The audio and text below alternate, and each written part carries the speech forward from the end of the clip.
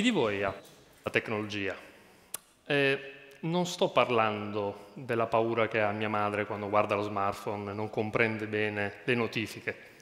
Parlo proprio della paura, quella vera, quella che fa battere il cuore, quella che fa sudare freddo. Alzate le mani, chi di voi ha paura della tecnologia? Qualcuno in fondo. Bene, pensavo peggio. Eh, per voi pochi sappiate che la vostra paura è parzialmente infondata. Questo perché è più eh, la non consapevolezza nell'utilizzare uno strumento tecnologico che è nato eh, per eh, colmare dei vostri desideri tramite l'utilizzo di un computer e di un'app. Ma facciamo veramente bene a non preoccuparci della tecnologia? Faccio questa domanda perché in realtà dovete sapere che esistono determinate tecnologie che sono per forza governate da un soggetto remoto, che in molti casi noi non sappiamo nemmeno che esiste, e, di questo soggetto remoto noi ci stiamo totalmente eh, confinando, cioè crediamo, non, A, non sappiamo che esiste, e B, eh, speriamo che questo soggetto remoto non faccia danni. Perché vi parlo di questo e di questo rischio?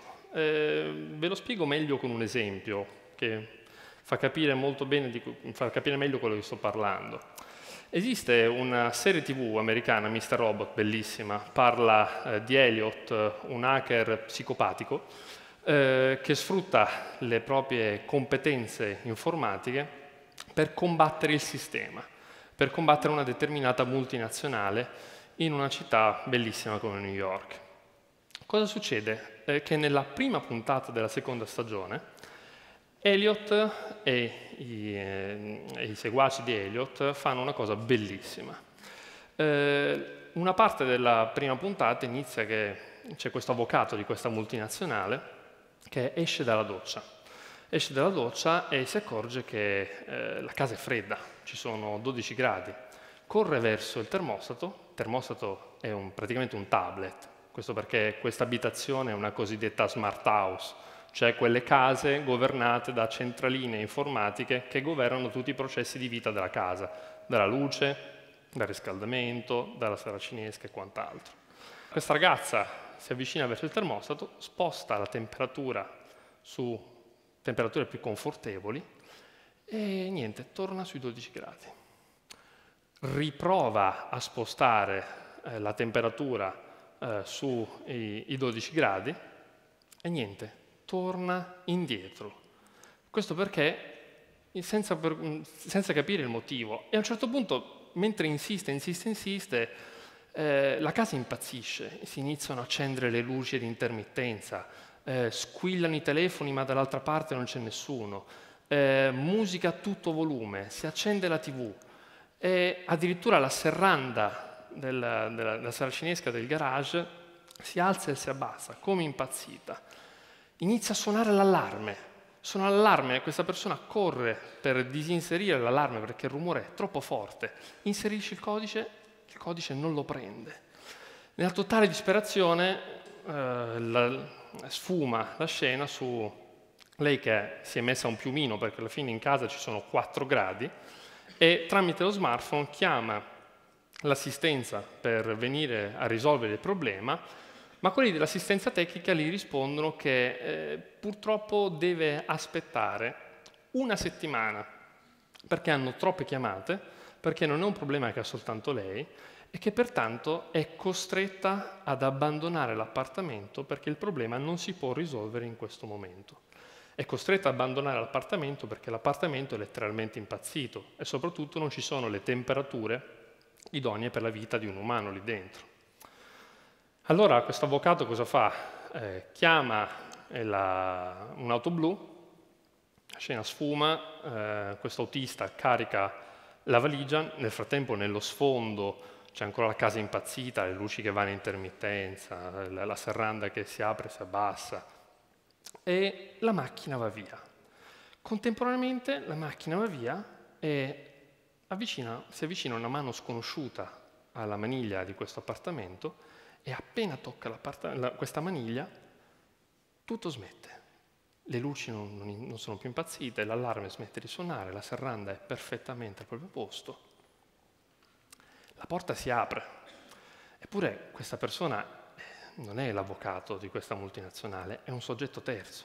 Più persone iniziano a salire le scale di questo appartamento e altro non è che la sorella di Elliot che, grazie ai suoi amici, hanno violato la centralina della smart house, costringendo eh, il proprietario di quella casa a abbandonare l'appartamento per occuparlo praticamente. Ecco, se questo vi può risultare impossibile al giorno d'oggi, vi sbagliate. Questo perché, non so se lo sapete, esistono già, ce le vogliono già vendere queste tecnologie per le nostre abitazioni. E non è difficile pensare che quello che vi ho appena raccontato potrebbe tranquillamente essere un, l'evoluzione dei ladri dell'appartamento.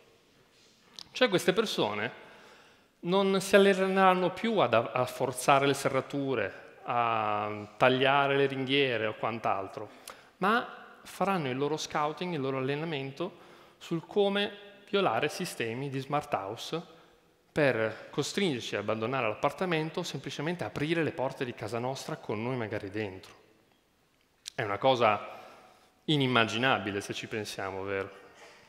Eh, inimmaginabile come eh, quest'altra notizia, eh, riportata da Wall Street Journal e tantissime altre testate giornalistiche americane, dove sostanzialmente eh, si documenta il fatto che un contractor esterno, quindi un consulente esterno della National Security Agency americana, quindi l'NSA, i servizi segreti informatici americani, il computer di questo consulente è stato violato e sono stati rubati tutti i documenti, i segreti dell'Agenzia di sicurezza americana, quindi cose molto importanti, grazie all'antivirus.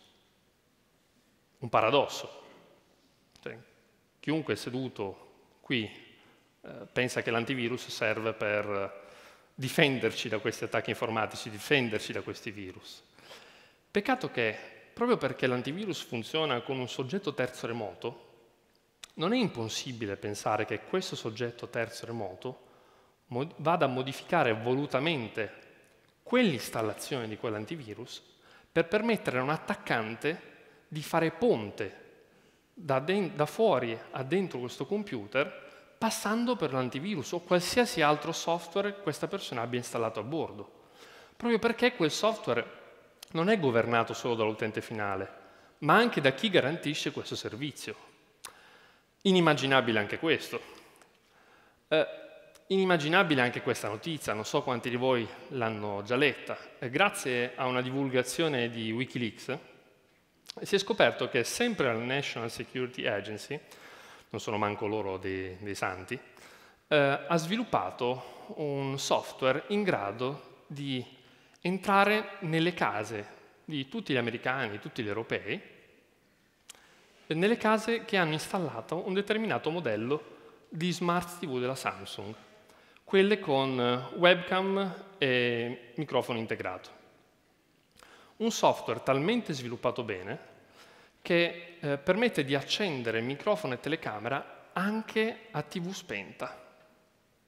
Eh, la scusa è stata quella che mm, l'NSA ha sviluppato questo programma trovando vulnerabilità informatiche su questo smart, su questo smart TV eh, per esigenze di sicurezza nazionale.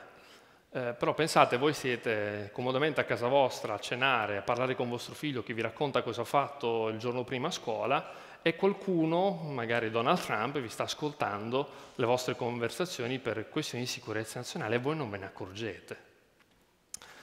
Inimmaginabile. Ma cosa ancora più grave, e qui c'è un fattore umano che incide molto, Uh, avete mai sentito parlare di WannaCry?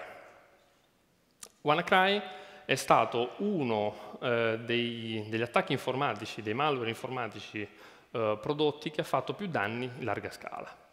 Sostanzialmente a marzo di quest'anno viene individuata una vulnerabilità informatica Uh, sui comunissimi sistemi operativi che utilizziamo quotidianamente, quindi Windows 10, 8, XP, 7 e anche quelli lato aziendale, quindi quelli server, eh, la Microsoft individua e rilascia subito un aggiornamento per mitigare questo attacco informatico, quindi mh, una volta scoperto, tempo in meno 24 ore, la Microsoft rilascia l'aggiornamento. Questo aggiornamento praticamente è stato ignorato dalla quasi totalità degli amministratori di sistema e degli utenti finali, fino a quando non siamo arrivati a maggio dello stesso anno che aziende, eh, persone, ospedali, addirittura alcuni pronto soccorsi non riuscivano a ricevere le persone, eh, le emergenze, proprio perché non andavano i sistemi informativi. Eh, realtà come fabbriche, fabbriche della Nissan della Renault, non riuscivano più a produrre automobili. Una determinata fabbrica stata, che produceva auto per Nissan e Renault è stata chiusa 5 giorni essere chiusi 5 giorni, quindi non produrre più automobili per 5 giorni, equivale a un danno economico veramente grossissimo. Tutto perché? Perché ci siamo, parlo dell'uomo, si è dimenticato di questa criticità, non ha aggiornato i sistemi, una, in alcuni contesti una banalità, ma almeno non ha nemmeno valutato la possibilità di farlo. Se ne completa, ha completamente ignorato la tematica. Ma è così difficile eh, trovare sistemi vulnerabili? Cioè, eh, un, un, attaccante no, come fa a individuare sistemi vulnerabili? Eh, è abbastanza facile, in realtà. Dovete sapere che esiste un, una piattaforma, si chiama Shodan, e io lo chiamo il Google della sicurezza informatica. Praticamente, mediante ricerche puntuali, vi fa vedere eh, cosa è disponibile su internet con quella determinata caratteristica. Potete chiedere, per esempio, webcam eh, che non hanno credenziali, oppure webcam con credenziali admin-admin, o sistemi esposti su internet accedibili senza autenticazione. Io ho fatto una ricerca molto semplice su Shodan. Questa è la, esattamente come potete, lo, tra parentesi, è gratuito, potete usarlo anche voi, è gratuito fino a qualche richiesta una centinaia di richieste. Ho detto fammi vedere, questa è la situazione al 17 settembre di quest'anno, quanti sistemi sono vulnerabili a WannaCry dopo tutto il casotto che è accaduto. Bene, 900, più di 954.000 sistemi vulnerabili in tutto il mondo al 17 settembre 2017. Puro masochismo praticamente. Cioè c'è stato tutto quello che vi ho appena raccontato e c'è gente che ancora espone sistemi vulnerabili e quindi potenzialmente sono devast devastabili, sono, sono, vanno fatti in frantumi questi sistemi se presi sotto attacco. In Italia come siamo messi? Eh, bene, ma non benissimo. Questa è una ricerca puntuale sull'Italia. Ci sono 7, più di 7.000 sistemi ancora vulnerabili e l'ultimo in lista è una nota università italiana. Eh, questo per farvi capire che eh, quando si parla di sicurezza informatica è molto importante non limitarci nel parlare soltanto di tecnologia. Il fattore chiave di tutti i concetti di sicurezza informatica è e rimarrà sempre l'uomo, per due motivi. È l'uomo che sviluppa questi sistemi, sia l'hardware che il software, ed è l'uomo che li utilizza. Quindi se abbiamo un buco in questa catena, avremo delle, dei problemi gravissimi di sicurezza informatica. Quindi è inutile investire milioni di euro in tecnologia se il problema è l'utonto, cioè l'utente tonto, l'utente non sostanzialmente formato. Però purtroppo quando noi utilizziamo quel maledetto smartphone o tablet, è come se spegna, spegnessimo il cervello. Cioè non, non ci facciamo caso, facciamo un uso sconsiderato della tecnologia. Se, ave, se avete ancora qualche dubbio a riguardo, questa è la prova definitiva. Esiste un profilo Twitter che riposta le fotografie degli utenti, sempre nel, nel, su, su Twitter, che fotografano volutamente la propria carta di credito fronte e retro, perché poverini ancora il, il secure code mancasse uno sforzo in più da parte di un attaccante. Poi la cosa bella è che nei commenti c'è sotto scritto ah, grazie per la nuova PlayStation 4. Eh, il problema qual è? Che fin quando esistono, per carità queste sono eccezioni, però eh, l'uso non, come dire, congruo della tecnologia porta a seri problemi di sicurezza informatica. E seri problemi di sicurezza informatica non vanno risolti con dell'altra tecnologia.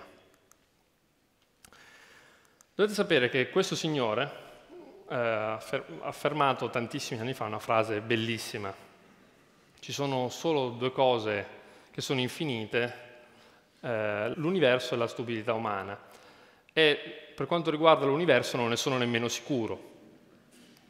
Per quanto concerne la sicurezza informatica, purtroppo Albert Einstein ha veramente tanto ragione. E allora cosa dobbiamo fare? Per essere più sicuri noi, per eh, essere, anche trasmettere sicurezza, dobbiamo partire dal basso. Dobbiamo formare e partire dal basso considerando anche i nostri figli dalle scuole, eh, un'educazione volta proprio al contesto di uso congruo della tecnologia perché se usiamo a modo la tecnologia, se eh, possediamo eh, la tecnologia, quindi siamo certi di quello che stiamo facendo con quel determinato strumento informatico, il rischio di compiere corbellerie è sicuramente molto più basso. E dobbiamo insegnare, soprattutto alle persone che per lavoro trattano informazioni classificate eh, o personali o riservate, anche della vita di tutti i giorni, a un uso consapevole di quello strumento informatico dove sono contenuti tutte queste informazioni, perché soltanto con la consapevolezza dell'utilizzo della tecnologia riusciamo a vivere in un mondo più sicuro. Grazie.